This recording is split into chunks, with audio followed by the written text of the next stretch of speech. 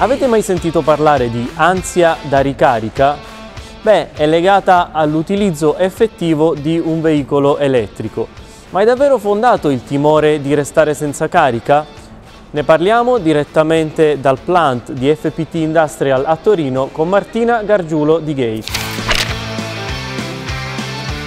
L'autonomia dei veicoli elettrici è da anni oggetto di miti e leggende. Abbiamo letto di fake news legate a mezzi fermi nella neve o di articoli che mettono in dubbio l'autonomia dei mezzi o delle batterie, che durerebbero meno di due anni.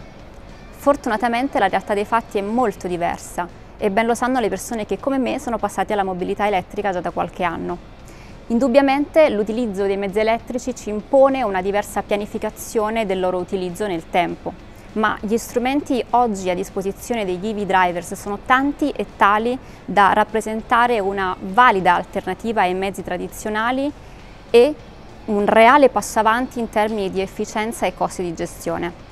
Parliamo di piattaforme che permettono di pianificare il percorso, di individuare i punti di ricarica sul territorio, di calcolare il biberonaggio dei mezzi e la loro ripartenza, oppure di sistemi di fleet management che massimizzano l'efficienza della flotta elettrica. La parola chiave è flessibilità ed è per questo che Iveco ha dotato il proprio Ideli di una configurazione modulare delle batterie, dando una capacità dai 37 fino ai 111 kWh di potenza.